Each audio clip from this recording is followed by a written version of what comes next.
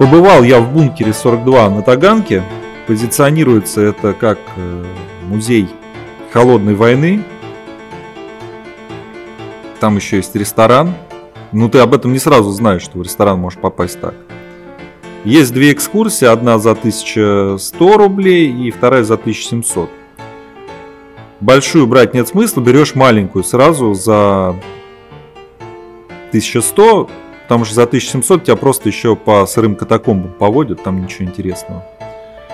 Покупая экскурсию, тебе скажут, что должен спускаться пешком вниз, но там есть лифт сбоку, и все посетители ресторана спускаются на нем. Рассчитан на 3-4 человека.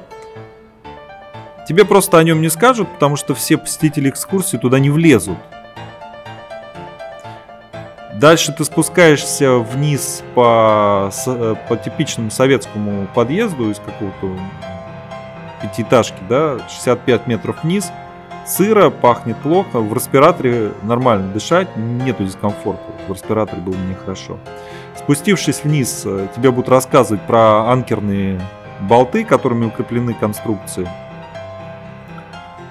Дальше тебя будут водить э, по четырем, что ли, экспозициям, да, и начинается это все с места дежурного, который уже выглядит ненатурально. Там лично завезенные Сталином аппаратура, видимо, телефон, который остался, и сталинский автомат э, с газировкой красный, и ковер, да, у дежурного. Все открыто, никаких э, ни завесов, ни решеток, ничего нету. Решеток только за электрощитом. Выглядит очень ненатурально. Но оно и понятно. Дальше э, проходим в зал, где нам будут показывать в типичной учебке фильм про холодную войну, да, где-то будут показывать его, наверное, минут 20. Душный, душный фильм. А экскурсия все длится полтора часа там. Единственная какая экспозиция есть, это старый э, вот типа кинопленочный проектор.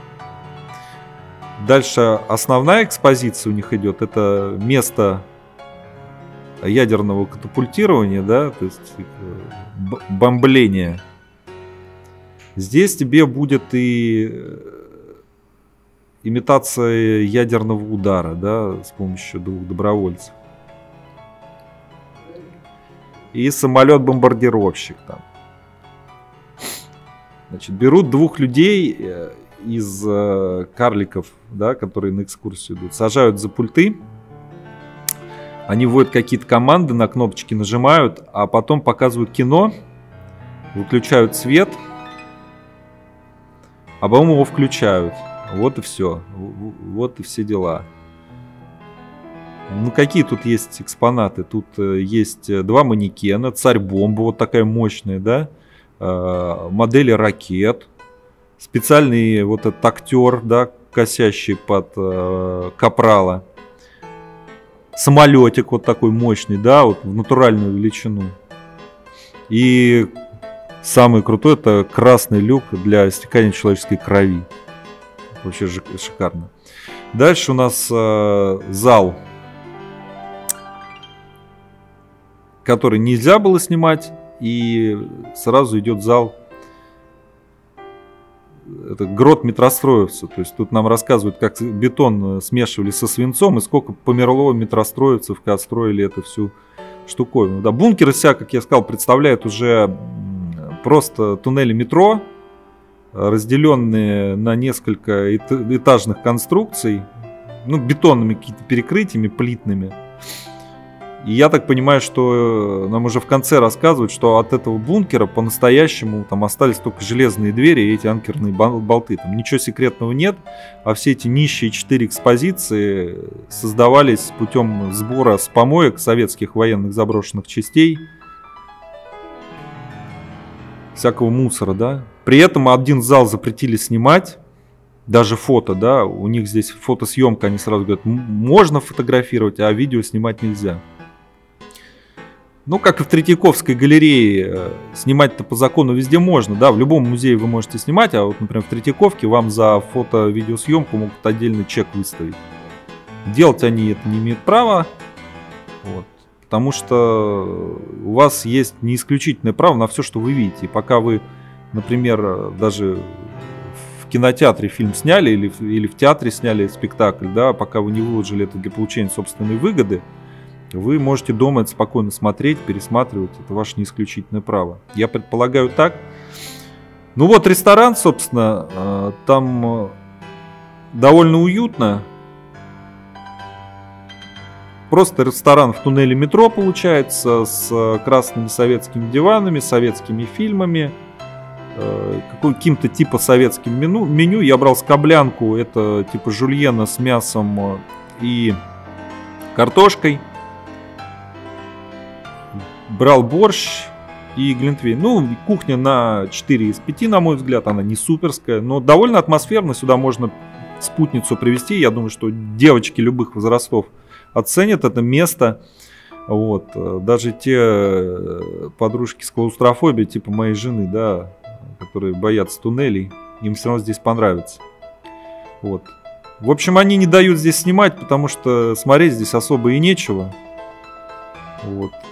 И надо бы, конечно, что делать, да? Ну, в Роспотребнадзор, наверное, написать, что снимать здесь все-таки можно, да, чтобы они их как-то уведомили. Запрещают снимать видео, а фото типа делайте. Конечно, это ужасно, вот, потому что так бы люди давно знали, что смотреть там нечего. Учитывая, что они рекламу выкладывают в интернет, и показывают все это и оборудование, то, что сами даже э, запрещают снимать, но все это выкладывают. Это очень-очень плохо, потому что ну, нельзя даже обзор на это место сделать нормально, да, с ними не поругавшись там. А нормальный обзор это в комфортной, нормальной обстановке. Ну вот, это имитация ядерного удара, то есть вас заводят вот в эту штуку, и там вы терпите.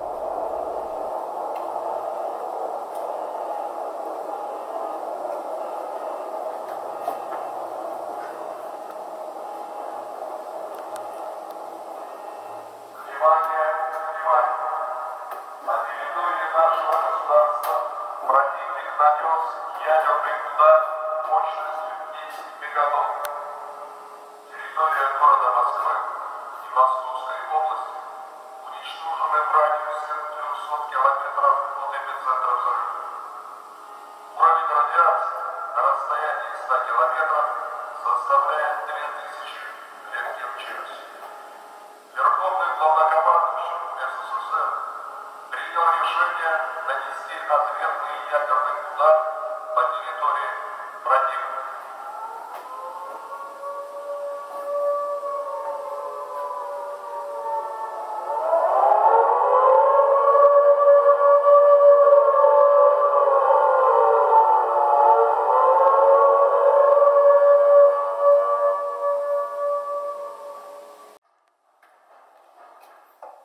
Как спускались. Нет, шутка, конечно, я поднимался уже на лифте.